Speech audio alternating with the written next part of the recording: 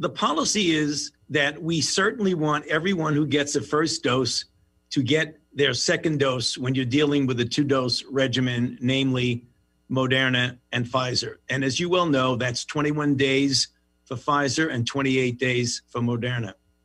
What sometimes leads to the confusion among people when you say we want to get as many people to get their first dose as possible means rather than holding back on doses that would be designated for the second dose, given that we now have more and more confidence in the even flow of doses to go to locations, and as Mr. Slavitt said, that we're going to give a three week window so that people will know the doses that they're going to get and when they're going to get them. We don't want to hold back things. In other words, if you give 50 million doses to individuals and then the next time around you get more doses, when you're at that third or fourth week, the first priority will always be to get the people who've gotten their first doses to get their second doses.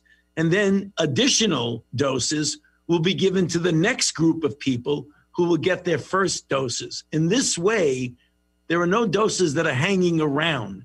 A dose that's available is going to go into someone's arm. If a person is ready for their second dose, that person will be prioritized.